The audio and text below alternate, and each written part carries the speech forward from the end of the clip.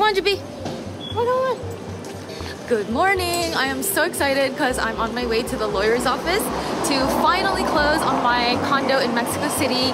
This has been a process that took way too long. Oh my god, I can't believe I'm saying this, but I am finally sitting here in my living room in my brand new apartment in Mexico City that I just bought. And here are the keys. And I'm just so excited because this has been a dream of mine for such a long time. However, let me tell you, it was not easy getting to this point. Just to give you an idea, I started looking for a place beginning of 2022. And then I found this place in May of 2022 and I wasn't able to close until October of 2022 and I wasn't able to move in until January of 2023. And what's worse is that this entire time, between the time that I went into contract after finding this property and finally closing on the property, I was never sure when I would actually close or even if I'd be able to close. Because the thing is, if you're a foreigner buying property in Mexico City, you need to have a permit from the government that allows you to buy property as a foreigner. The government had a lot of questions about my passport because I have a US passport and it says I was born in Korea, so they were confused about that.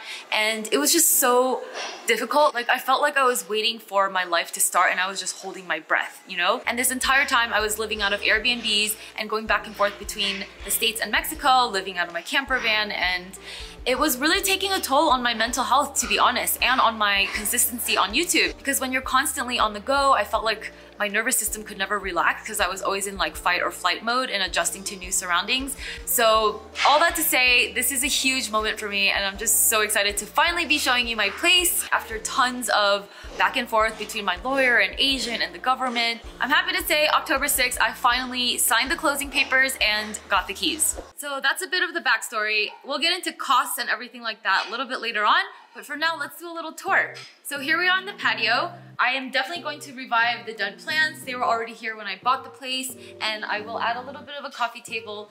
And it's really special to have a large outdoor space like this in the big city. It's one of my favorite things about this apartment. So that's the outside. Let's go look at the inside.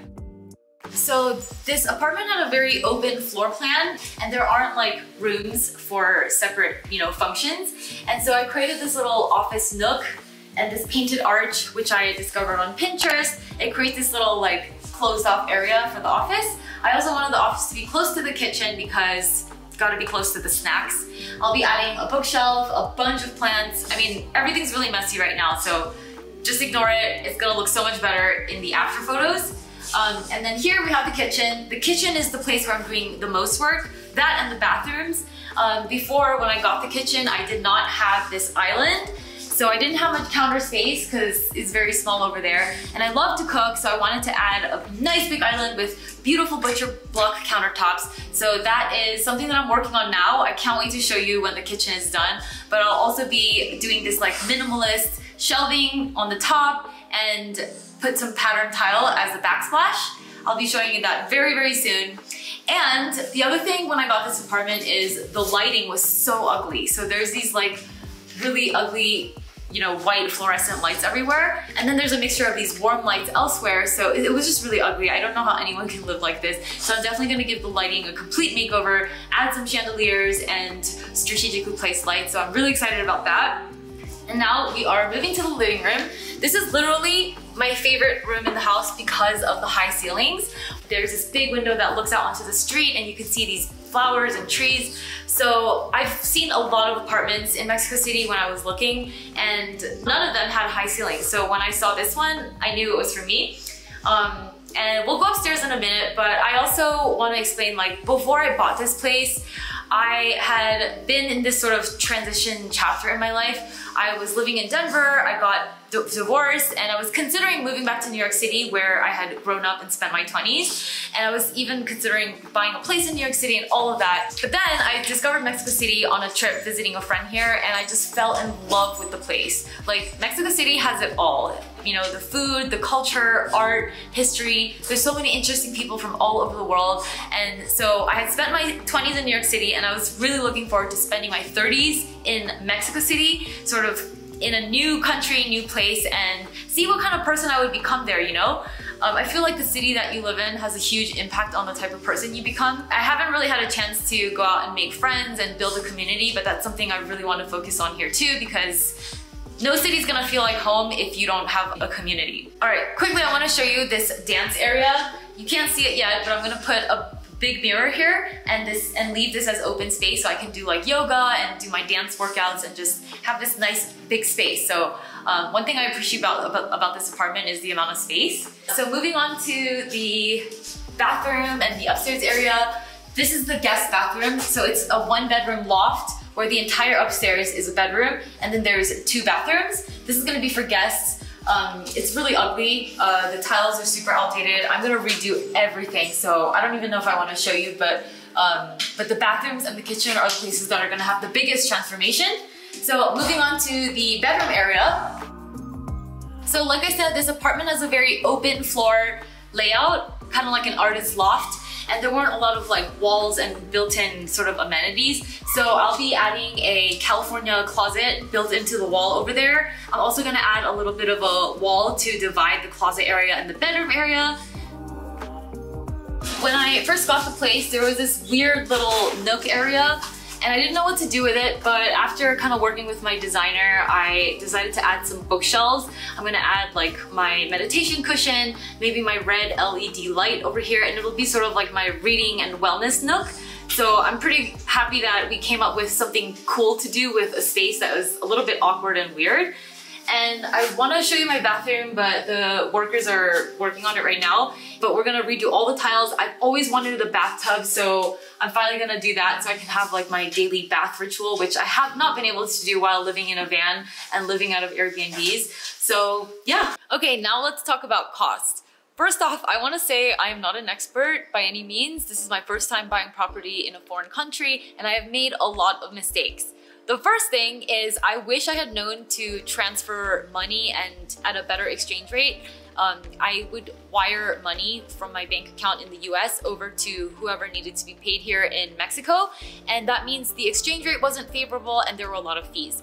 If I'd known better, I would have used an app called Wise, which offers much better exchange rates, and I probably could have saved maybe a couple thousand dollars with the exchange rates, but hey, you live and you learn. That was my first mistake. The other huge thing is, and I'm sharing with you openly so you can learn from my mistakes, is that I would have negotiated harder when buying this place. So I didn't know anything about construction and renovation. So when I bought the place, I didn't realize until later that, you know, the laundry room would need additional plumbing and that maybe the kitchen needs updating and just a few little things like that. So I probably could have negotiated a bit harder with the seller and say, hey, I'm gonna have to, you know, re renovate these things. It's gonna cost this much. So you should give me X amount of discount on the purchase price. But you know, you live and you learn. Not everyone buys property in a foreign country every day. So sometimes you just need to learn by experience. But in the end, the seller and I agreed on a purchase price of 6.2 million pesos, which at the exchange rate at the time would translate to a total of $312,000.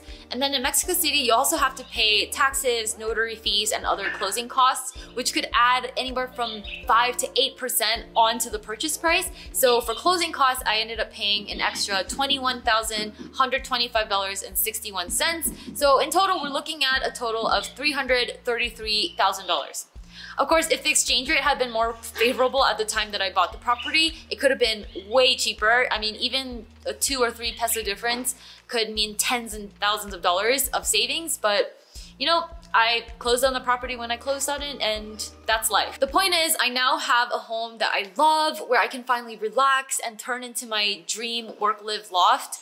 I finally feel like I can relax, you know, I feel like life is about to start. So in the end, I mean, not that cost isn't an issue, but in the end, this is an investment in my happiness, in my mental health, my physical health, and honestly, what could be more worth investing in more than that? So real quick, I do wanna say that I did not get a mortgage on this property. I paid for it in cash. One of the benefits of owning your business is you can make all the profits for yourself and there's no limit to the amount that you can earn. You know, the harder you work, the more you can earn. So I definitely feel very grateful for that. I really think entrepreneurship has opened up so many doors for me and made so many things possible. That being said, if you're interested in buying a place in Mexico City and can't afford to pay for a whole house in cash, they do offer mortgages for foreigners. I'll link to some resources below. But um, I just personally wanted to not have any debt on the place that I own. I do have investment property in the States and I have mortgages on those, but that's different because the mortgage pays for itself. But for the place that I live in, I just prefer to have complete peace and security and no debt. I just sleep well at night and that's the way I like it. So anyway, I'm in the midst of renovations. I can't wait to show you guys the results. I don't know what the renovation totals are yet because we're still working on things and I've made a couple mistakes here too. But when all that is done, I'll definitely be sure to share with you guys. Um, meanwhile, I'm just really busy, you know, finding furniture, designing, and making this into the perfect, you know, work-live loft where I'm gonna spend the rest of my 30s. Uh, also, really fun fact, when I bought this place, I wanted it to be like the perfect bachelorette pad and I was envisioning like reenacting my own version of Sex in the City and Mexico City and make all these friends. But one week after going into contract on this property, I went to LA for a music festival and met my now boyfriend. So now I'm in a long distance relationship as life would have it. Uh, luckily, he did agree to move to Mexico City as soon as he sorts out his papers. So it's just funny how you can have your life planned out and then life just throws a wrench in your plans anyway. But I'll be sure to keep you guys updated on everything. I'm really excited to show you the results and thank you so much for following me on this journey. If you're interested in following along the renovation project and seeing the final results, be sure to subscribe, turn on notifications, and I'll see you guys in the next video. Bye! These are the two suitcases I brought from America and I haven't even been able to unpack it because there's nowhere to put it.